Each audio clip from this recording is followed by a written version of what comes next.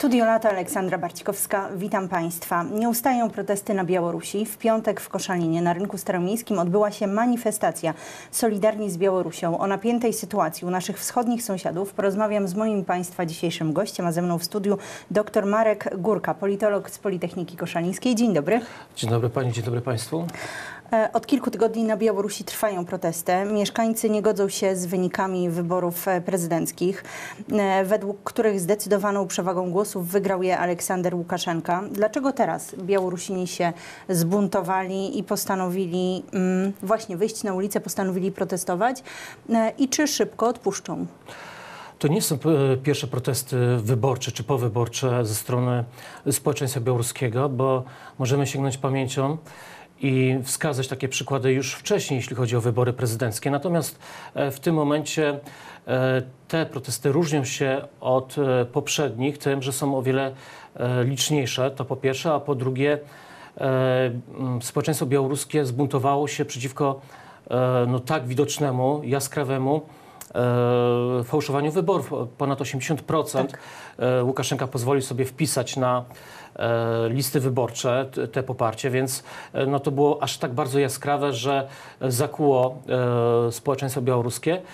A druga rzecz, no niestety, ale na Białorusi nie ma tak naprawdę woli tej nauki, więc jeśli chodzi pod kątem socjologicznym czy też politologicznym, bardzo trudno jest ocenić poparcie Łukaszenki. Część badaczy mm, planuje, czy powiedzmy symuluje poparcie dla Łukaszenki między 10 a 30%. Oczywiście ono było e, w poprzednich latach o wiele, wiele większe, bo Łukaszenka kojarzył się e, z naszej części społeczeństwa białoruskiego jako e, taka ostoja stabilności. 26 lat na urzędzie. Jednak. Tak, tak, tak. 26 lat to jest raz, ale zapewniał w jakiś sposób stabilne bytowanie. Tak? Ono było biedne, nie było na takim poziomie cywilizacyjnym jak Europa Zachodnia czy też Europa Centralna, ale mimo wszystko był spokój, ta, była ta stabilizacja. Ten homo sovieticus, który był e, wśród Białorusinów, ale także innych społeczeństw e, postsowieckich, on był bardzo silny. Teraz e, po 26 latach mm, zmian, demokratyzacji w Europie Centralnej i w Europie Wschodniej, społeczeństwo białoruskie zapragnęło zmian politycznych, e, społecznych. Pan był na Białorusi. Jaki jest rzeczywisty stosunek mieszkańców e, tego kraju właśnie e, do swojego prezydenta? Czy to jest rzeczywiście tak, że większość z nich chce, żeby Łukaszenka odszedł? Obecnie to, to, wygląda w ten sposób, że z, e, naród białoruski jest znacznie bardziej odważniejszy w tych po swoich postulatach. E, zniknął dziś ten strach. E, społeczeństwo manifestuje i to bardzo jest widoczne, szczególnie wśród e, młodego pokolenia. To młodo, młode pokolenie korzysta z internetu, korzysta z mobilności, korzysta z podróży, jeździ po państwach Europy Zachodniej i widzi ten stan, ten komfort życia zupełnie inny, odbiegający w znaczny sposób od tego, jak się żyje na Białorusi i zapragnęli zmian, zmian ekonomicznych, gospodarczych przede wszystkim a że e, jest to przede wszystkim e, w, sensie takim, czy warstwie symbolicznej e, polityka, no to nie powinniśmy się dziwić. Jednak należy zaznaczyć, że niezwykle mało jest haseł europejskich, haseł dążących do integracji z Unią Europejską, czy też ze strukturami zachodnimi. Tutaj przede wszystkim społeczeństwo białoruskie protestuje przeciwko Łukaszence, ale w znacznym stopniu jest bardziej prorosyjskie tutaj. Tutaj nie było haseł antyrosyjskich. Zresztą e, jest to niezwykle ciekawe, bo jest to diametralna różnica między protestami, e, które miały miejsce na Ukrainie kilka lat temu, gdzie społeczeństwo ukraińskie akurat tym się różniło od białoruskiego obecnie, że było, były zaznaczone te flagi, ta, ta obecność flag tak. europejskich, ona była tam w, tym, w tej warstwie symbolicznej, więc tutaj Białorusini nieco inaczej protestują, jeśli chodzi o hasła, o idee, i ten program. Mhm.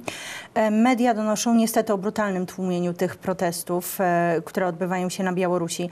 Łukaszenka już właściwie się nie kryje i mówi bardzo otwarcie o możliwych e, reperkusjach. Czy mhm. Pana zdaniem te protesty odniosą jakikolwiek skutek?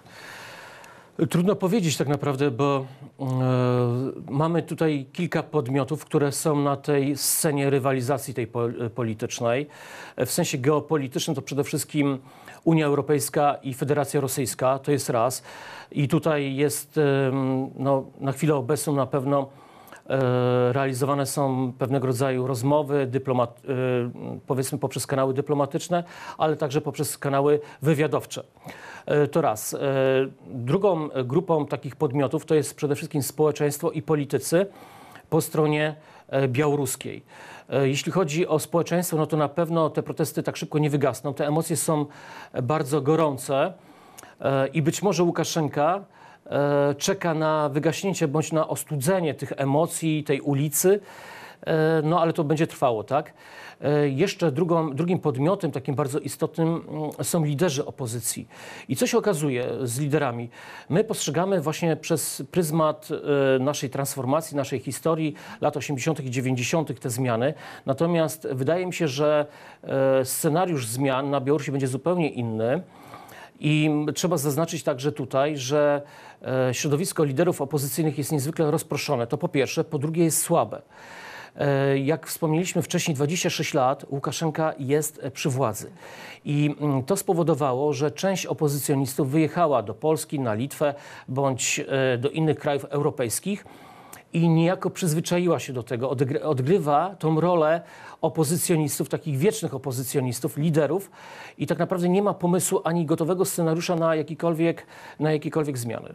Więc oni się przyzwyczaili e, do tej roli, odgrywają tą rolę i otrzymują pieniądze Źle to brzmi, ja zdaję sobie sprawę z tego, ale otrzymują pieniądze ze struktur europejskich, e, z różnego rodzaju fundacji, stowarzyszeń i na tyle się przyzwyczaili do tego, że nie są tych zmian. Jest wygodnie w ten sposób, tak?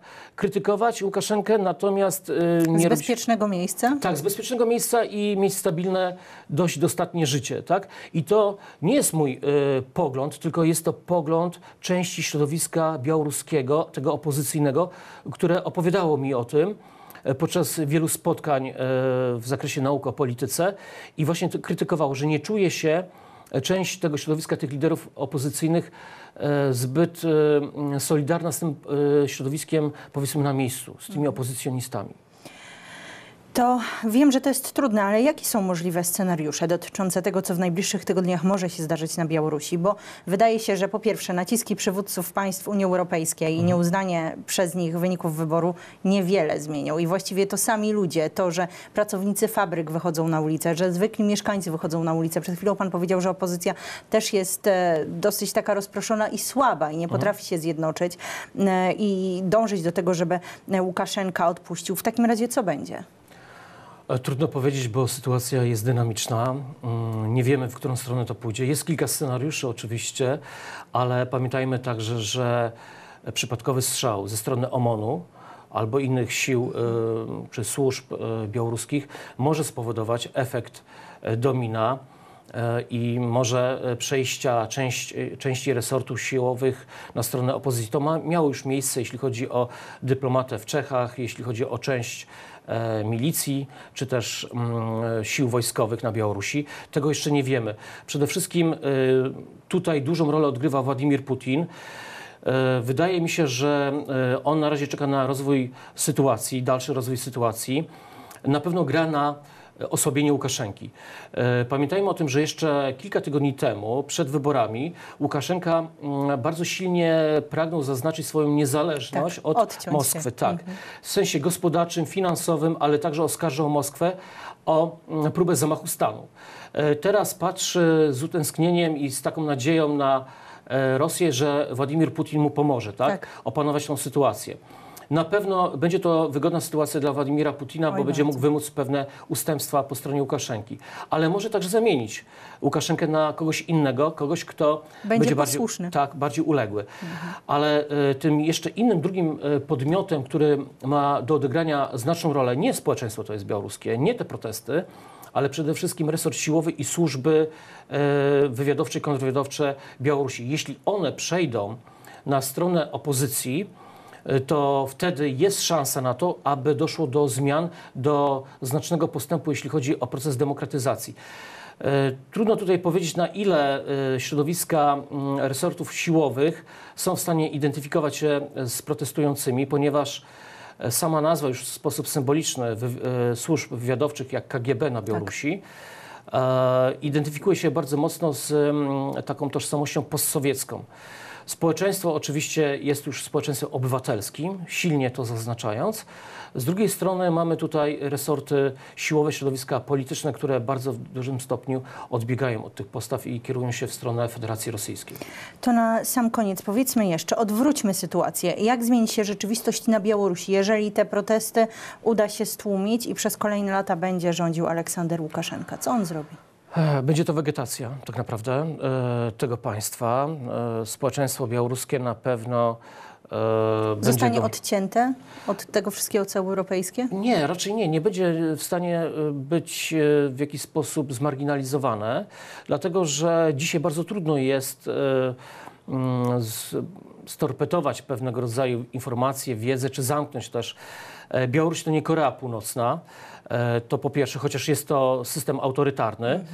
E, Natomiast, no, tak jak powiedziałem wcześniej, mamy internet, mamy środki komunikacji, jest telewizja Bielsat nadawana z terytorium Polski, a zatem społeczeństwo białoruskie czy naród białoruski, on ma dostęp do tej wiedzy, a wiedza jest największym sprzymierzeńcem dzisiaj e, zarówno społeczeństwa tych e, ludzi, którzy wychodzą na ulicę, ale także jest największym wrogiem jeśli chodzi o reżim Łukaszenki.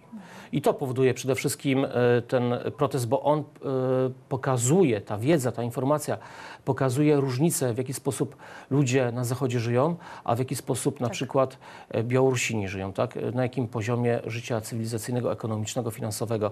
Jeszcze należy zaznaczyć, że Białoruś też bardzo silnie odczuła, znacznie bardziej odczuła być może niż pozostałe państwa europejskie, konsekwencje pandemii. I tutaj przede wszystkim e, to też miało wpływ e, no, ta warstwa ekonomiczna Tak. na ten bunt e, społeczny.